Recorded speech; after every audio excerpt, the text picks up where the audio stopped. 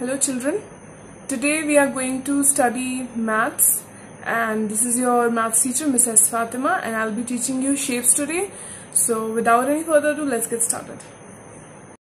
We are going to study shapes today.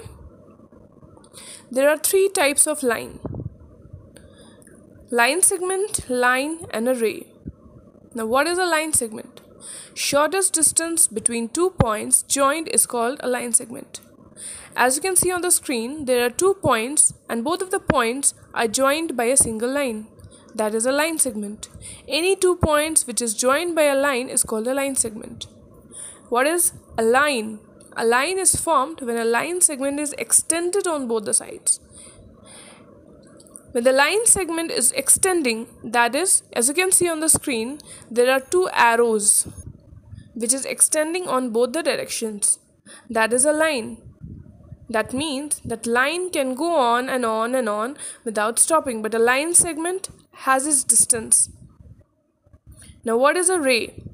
When a line segment is extended in one direction only, it is called ray. As you can see in the screen, the third line, there's only one arrow on the end of the line. It doesn't have on both of the sides. The arrow is not on both of the sides, only one side, which means that the line is extending only from one side. And this is called a ray. A ray doesn't extend from both the sides. Now moving on to plane shapes. What are plane shapes? There are four types of plane shapes as you can see on the screen circle, rectangle, triangle, and square. A plane shape, it means it is also called as 2D shape because it has only width and length. It doesn't have height. That is why it's called plane shapes. It is simply flat on the surface and plane. It doesn't have any kind of height with it. That is called a plane shapes. And the 2D in it means one dimension is length, the second dimension is width. Now coming to the side and corner of plane shapes. As you can see on the screen, there are two types of plane shapes present here, circle and a triangle. Now the line segment in a plane shape is called the side. But can you see any kind of side in the circle? No. Circle is curved in nature. It is circle, that is round. It doesn't have any kinds of sides and it doesn't have any kind of corner. That is why the number of sides in a circle is 0 and the number of corner or you can call vertices or vertex is 0. But in a triangle there are three sides. Can you see the three sides? Yes, there are three sides and since it has a side it also has corners. There are three corners in a triangle or you can say vertex or vertices. There are three vertices in a triangle. The point at which two sides meet is called its corner or vertex. And the plural of vertex is vertices. Now coming on to the side and corner of rectangle and square. As you can see, there's rectangle and the square present on the screen. Can you count the number of uh, rectangular sides? Yes. There are four sides in a rectangle. Up and down, left and right. Since there are four sides, there must be four corners also because a point at which the sides meet is called a vertex or corner. So when right meets the up one, that's the one corner. When left meets the up one, that's the second corner. When right meets the downside, it's the third. When left meet the downside, it's the fourth corner. And opposite sides of a rectangle are equal. The up and down sides are same in length. The right and left side are same in length. Now coming down to square.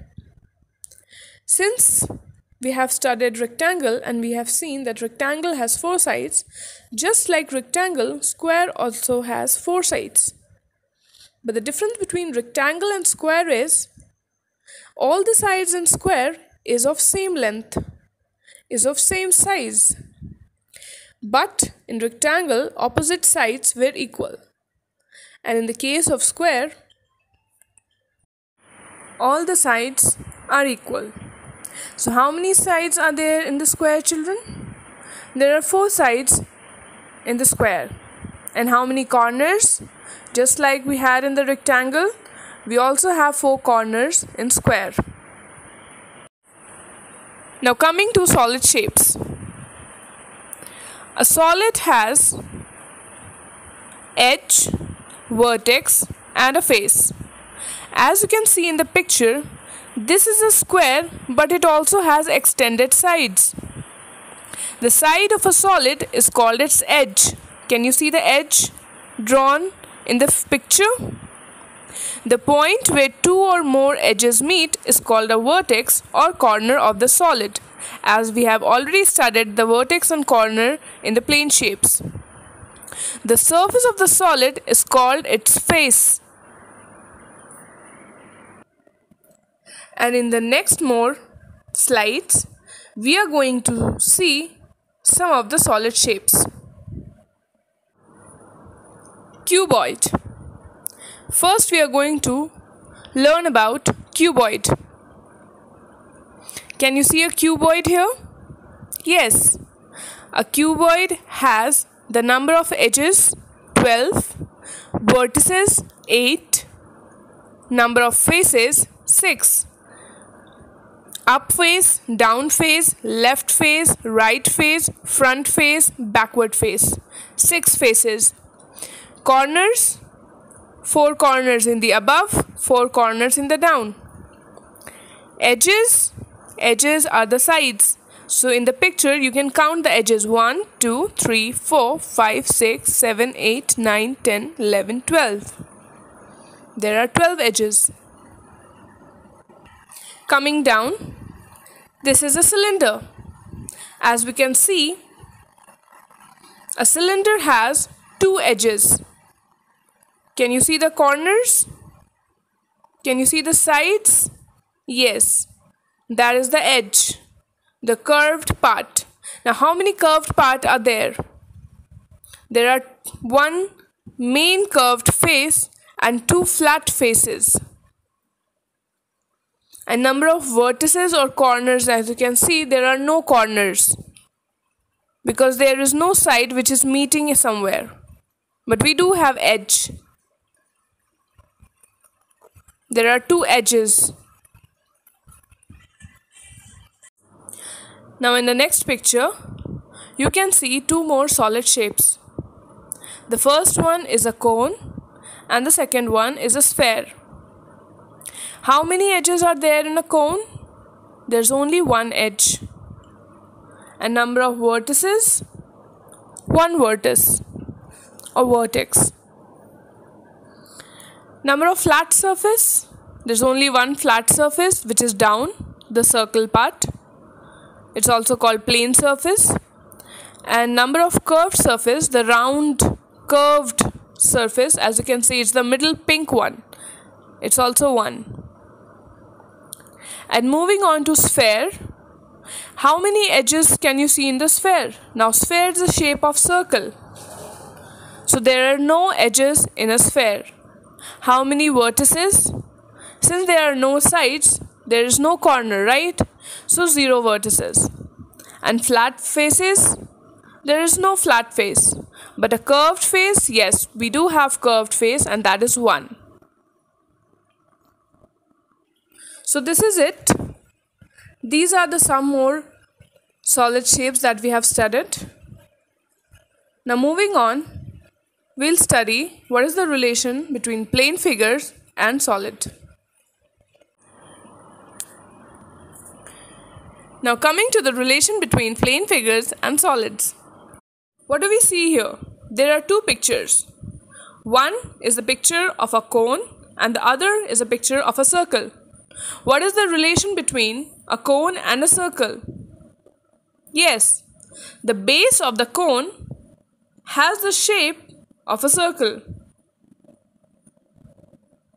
But a cone is a solid figure and the circle is a plane figure. Which means a cone has a, has a height but the circle doesn't have any height. Now coming to the next picture. Yes. This is a picture of a cuboid and a rectangle. Now what is common between cuboid and rectangle? Yes, the base of a cuboid has the shape of a rectangle. That is the common thing between both of them. But the difference is rectangle is a plane figure, flat figure. It doesn't have any kind of height, but a cuboid has a height and a width and a length.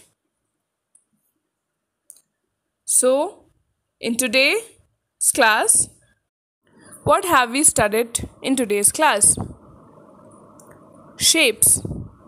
There are four plane figures circle, rectangle, triangle, and square. And we have studied what are solid shapes. How many edges, faces, and vertices do we do they have? Okay, children. So for today, we'll keep it till here. In the next class, I'll see you soon. Till then, be at home and be safe. Take care. Thank you.